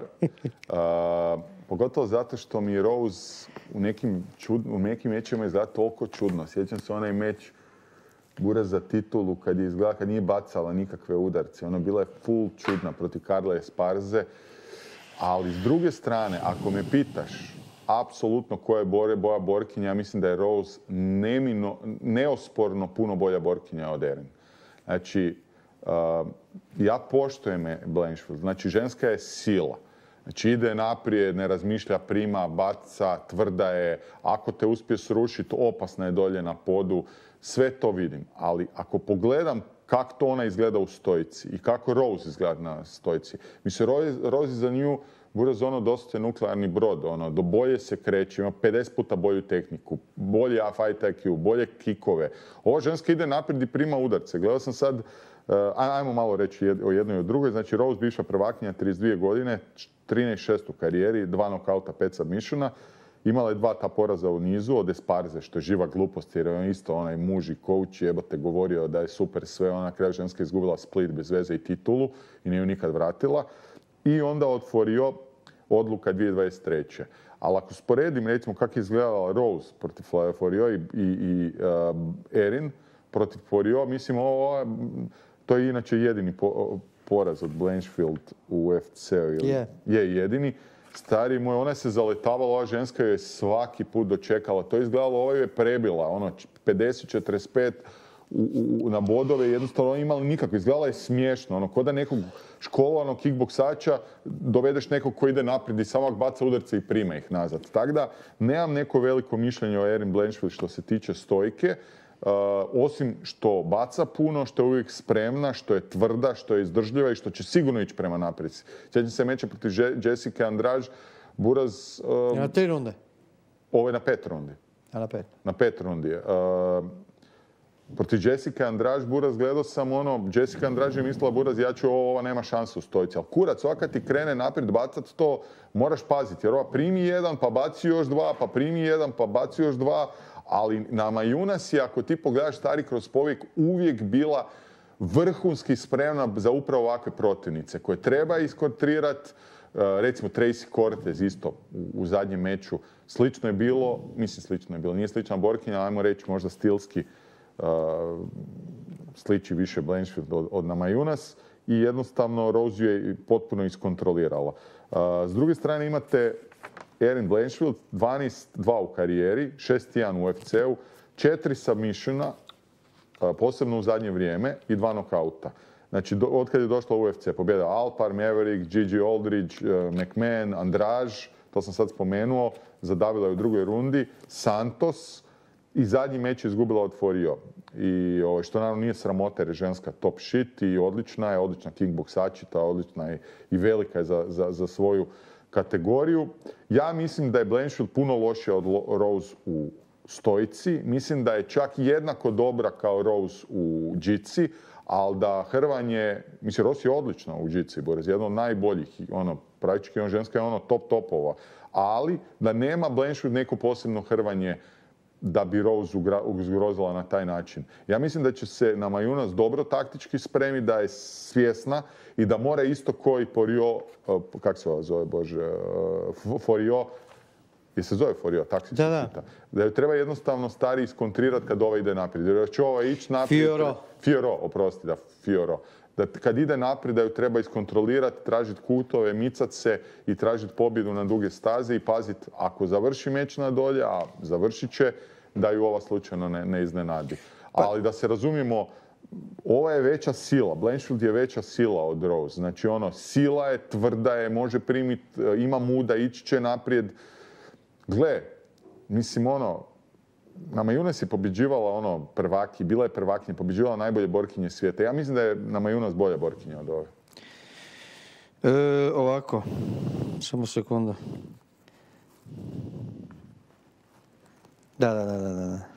I pazi, uh, Blanchfield se borila protiv Tracy Cortez i izgubila. To je ovaj jedini drugi poraz, a Roziju je ono, dosta se izdominirala sad zadnji meč. To je isto ovaj, ono što treba uzeti u obzir. Na neki način. Sad me slušaj dobro. A, jako dobro si to pripremio sve i ako ostane borba u stand-upu, ja ne vidim kako će Blanchfield dobiti. Ali ja ti ne vjerujem da će ta borba ostati u stand-upu. To je problem, da. Znači, ona Tyla Santos, ona je takva zvijer od žene. Takav brutalan grepler i sve. Znači, ovo je razvalila. Mislim, razvalila. Ovo je ono uspjelo dominirati u tome gdje je ona najjača. I ja mislim da će ova Blanchfield tri ili četiri runde sigurno ovoj imat na, na leđima ovo Rose Namajunas. Znači ja jednostavno ne vjerujem da će Rose uspjet ostati ovoj na nogama. Ako Rose ostane na nogama, isto se slažem teško da će, da će Blanchfield moći s tom tehnikom se nositi. Ali jednostavno mislim da Erin Blanchfield je premasivna i prejaka i prečvrsta za Rose Namajunas. Mada to smo tvrdili za neke druge borkinje, pa ih je Rose ono nakotirala, poput Wei Zhang, jel tako?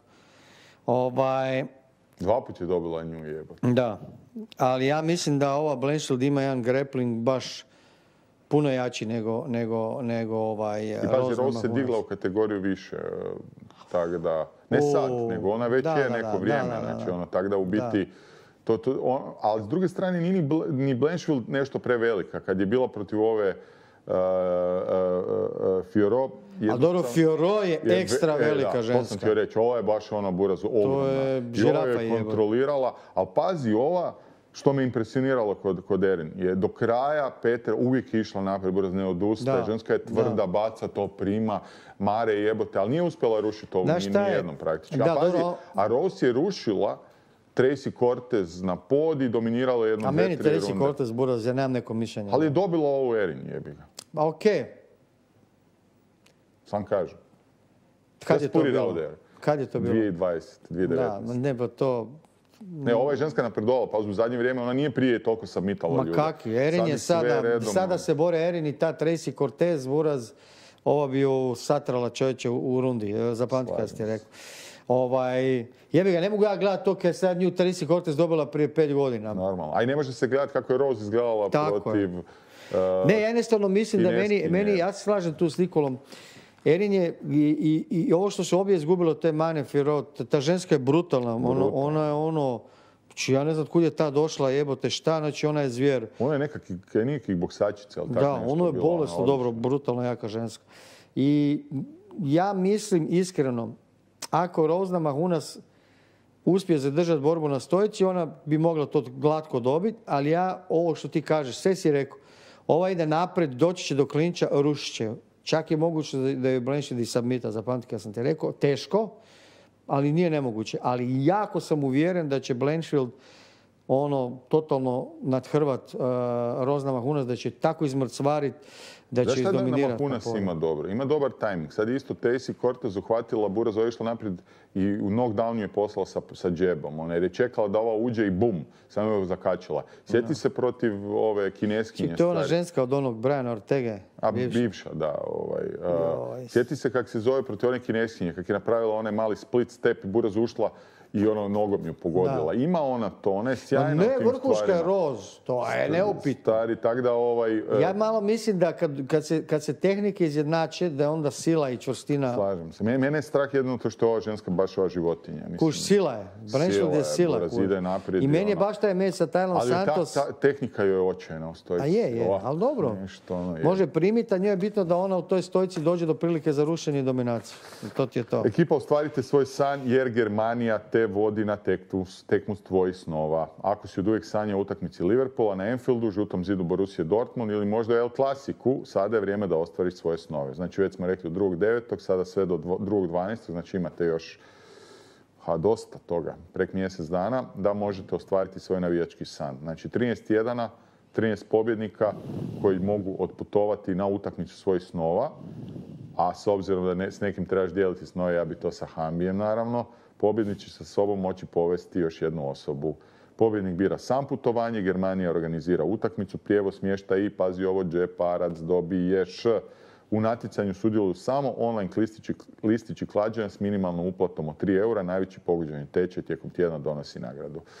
Uh, tako da bacite oko na link u opisu videa jer je tamo promocija Germanije. To smo sve smo izanalizirali, ispričali, čekamo i Nikoli njegove analize. Hambać, hvala ti Buraz. Hvala Evo, tebi. sve blizu. Teški su parovi, ono, baš su teški parovi. Nisu ono jedno, ko svi su uvijek. zadnji. Ko uvijek da, ali ono, baš, ono, im- imao sam, bio sam u, u naletu, ali u zadnje vrijeme sam, ono, malo sam, ono, ma- malo štekam, ali sve će se to promijeniti, Hambara moj. Kad te ja ovako novog kola prestignem. Joj, pa moglo bi se dogoditi, moglo bi se dogoditi. A ništa, Hambać, ništa, Kaj zaboravili da nas ovi ne masakriraju?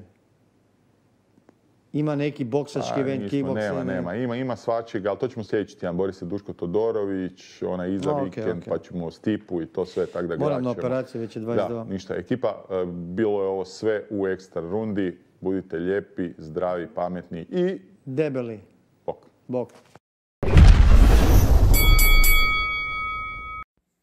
Pozdrav društvo, šta se dešava? Znači, za nas je ovaj sjajan događaj UFC 308. E, iskreno na ovom pay-per-view smo imali sve. Bukvalno od prve borbe gde smo imali krađu, tako reći. Boga mi, ovo je baš bilo blizu da kažemo da je, da je krađa. Carlos Leal protiv Rinata Fahredinova. Ovaj, većina ljudi zaista ovaj, se nikako ne slaže sa tom odlukom. Imali smo pa verovatno borbu godine Rolbaja i Rebeckija, nokaut godine, verovatno Šare Magomedova, odličan nokaut e, Ibe Aslana, mm, e, Liron Murphy, Dan Ige, odličan meč takođe, neverovatni Topurija koji uživa status apsolutnog kralja, ono, trenutno, Hamza Čimaev takođe, možda još više, ono, izgleda kao neuništiva mašina, Uh, Aleksandar Rakić, eto i Magomedan Kalajev, samo bi se tu zadržao kratko par sekundi. Ljudi su toliko pobesnili, toliko ne mogu da puste taj meč uh, da, da živi. Ja sam ponosan na Rakića i mislim da je odradio protiv najopasnijih borca u kategoriji ovaj, možda ne najbolji meč u smislu šta smo mi to očekivali od njega kao da bude nešto asertivniji, agresivniji, ali uh, mislim da je Ankalaev prosto malo bolji borac od Rakića, kad ste malo loši od Ankalajeva, mislim da je to dobra stvar i samo treba da nastavite da napredujete i da sanjate da ćete biti bolji od Ankalajeva i ostvarit će se. Daj Bože. Osim toga, zaista sjajan event. Nema šta, ono, jedan od evenata godine. A sad nam sledi kako to obično biva u MMA svetu, onako malo, uh, neko bi pomislio reality check, i je sad malo kao ono vraćanje u neku normalu i onda uvek posle tako velikog i snažnog pay-per-viewa imamo lagani event, uh, onako neki običan fight night u Apexu, smo posljednjih godina navikli to, ali ovo Edmonton sada u Kanadi je meni baš dobar kard, iskreno. Nekako UFC je baš na ovom kardu pokazao šta znači odličan matchmaking i odlični umovi. Nekako sve tu ima smisla, stariji borci imaju odgovarajuće protivnike, ovi neki nadolazeći takođe. Baš mi se dopada matchmaking, tu pregrač borbi dobrih ima, recimo prema Topologiju, uh, card će otvoriti za Lau protiv Shora, ne znam da li će to zvanično biti tako, vidit ćemo još raspored. Obično sa Fight Nights u, u Fight Weeku se ovaj, sazna tačan raspored, ali ovaj, kakva borba je to da, da otvori ovakav card. E, znači, kao i uvek, tri para analiziramo, boga mi, situacija na vrhu tabele je zgusnuto jako. Ja sam rekao, pazite se, dolazim po vas i evo, blizu smo, jako blizu. Malo više pola smo prešli, tako da čuvajte se. Uh, prvi meč Ivana Petrović protiv uh, Jamie Lynn Hort. Uh, ovde je Ivana Petrović outsider, 2.55 je kvota na nju. Prvo bih rekao da sva ova tri meča koje ćemo analizirati i prognozirati su, ono, bukvalno možete ići na underdoga u svakom meču. Da li treba ići na greplera, ono što uvek kažem, ili kako to već e, biva, pa ne znam, nije baš uvek pravilo, da pustimo sad to na stranu, ali bukvalno svi ovde nekako imaju šanse i legitimne argumente i ne samo argumente iz prošlih borbi, nego dešavaju se neke nove situacije, recimo Charles Jourdain koji je sledeći par i koji ovaj, silazi eto taj bantamweight i ko zna kako će to uticati na njega. Henry koji izgledao odlično u posljednjem meču, doduše protiv Matorog i oslabljenog ranija jaje, ali da se pozabavimo Ivanom Petrović trenutno. Uh, jedini razlog što je uopšte razmišljam da li da biram Ivanu Petrović je to što je ona izgubila od proklete Luane Karoline. Osim toga išao bih na keca na nju. Ova Jamie Lynn Hort je ništa posebno nešto sam slušao neke analitičare druge koji pominju kako ima solidan power za ovu kilažu, međutim nisam to baš vidio u njenim mečevima, ništa tu posebno nema. E, meč protiv Veronike Hardy će prikazati otprilike svima kakva je ona borkinja i koji je to kvalitet. Motorika čudna, e, pravi greške, pravi greške u parteru, to će biti dobro po Ivanu Petrović. Problem je samo što Ivana nije toliko dobra koliko sam ja mislio. Dopada mi se jako njen stav, nosi se kao šampionka, čuo sam priče insajderske, znači kako se trenira kod nje, da su to ozbiljni trenizi, puno, puno se ona ulaže i troši za ovaj sport, tako da njen stav mi se definitivno dopada i nekako se, kad je pogledate onako fizički, nosi se kao šampionka, onako ima to e, nešto graciozno kod nje i e, predodređenost ta neka, što se kaže, E, ja ću ići na njenu pobedu ovde, iako je outsider. E, Hort nije loša, problem je što nije ni dobra. Ivana mora da pokaže da je malo bolja od onoga što je do sada bila, da kažem, u UFC-u. Eto, pobedila je kineskinju u prošlom meču koja je zaista dobra i eksplozivna u prvoj rundi i posle se ugasi, ali ovaj, nekako ta kineskinja ima dosta jasni atleticizam, barem u toj prvoj rundi od ove Kanadjanke. Eventi u Edmontonu, brdo Kanadjana se bori, ovo je statistički, brojke kažu, jako loša godina za biti Kanadjanin u MMA-u, tako da, eto, nek se, nek se tako nastavi. Problem je što ne verujem da će borba završiti ovaj, unutar tri runde, nego će ići na odluku sudija do samog kraja domaća publika, možda ko će ga znati, tu su uvek te neke stvari koje ja ne volim da ulazim, ali ovaj, mislim da Ivana može u grapplingu malo da zadrži borbu i da iskoristi te neke greške, malo da je uštopuje dole i da eto pokaže i tu podlogu u kickboksu koju ima i pobedit će na pojene ovaj meč. Uh, sledeći duel Charles Jourdain protiv Viktora Henrya, opet uh, zašto ne ići na Jourdaina, na Keca, Zašto Henry je dobar borac, stvarno, dobar je u stand-upu tamo gde je Jordan najbolji i kad uđe u taj neki svoj flow izgleda dosta, dosta dobro, međutim, kada pogledate s kim su se obojica borili, ne može to baš da se poredi. Uh, Jordan mnogo više iskustva u UFC-u i sa mnogo kvalitetnim protivnicima, sa više tih dobrih kvalitetnih protivnika, mada kad gledamo s kim se sve borio, još nije ni došao do tog nivoa Henry. Henry je i stariji, uh, kad pogledate njegov skor, vidite 8 submissiona i onda možda će neko pomisliti kao pa dobro, možda je dobar rvač, ali nije to slučaj kad gledate statistiku.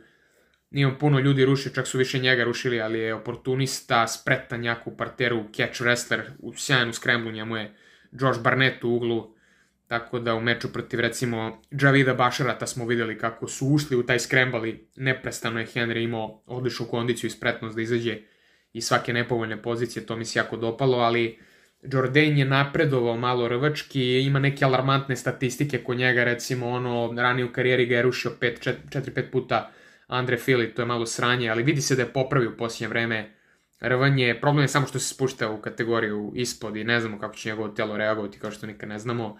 Uska ramena, fizikalija, kako on izgleda, delo je zaista da može da skine i vidio sam slike, generalno izgleda onako, ima mišićan, izgleda je totalno ispijeno.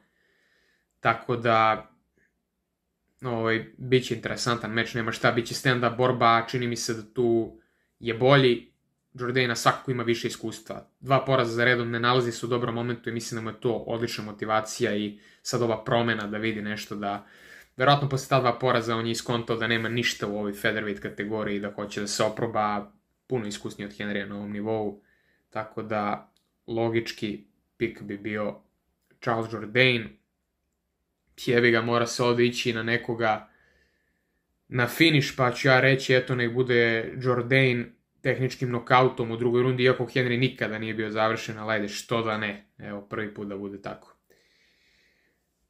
Posljednja borba koju analiziramo treća, Erin Blanchfield protiv Rose Namajunas, e, po meni jedna odlična borba, zaista.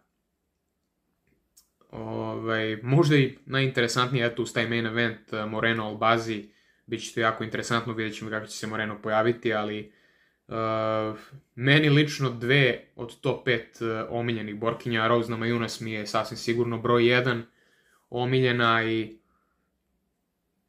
ovaj, sa njom to uvek pomenem, uh, uvek mi je žao kada vidim na šta je spala njena karijera, to je apsolutno mogla da bude najbolja ženska borkinja svih vremena.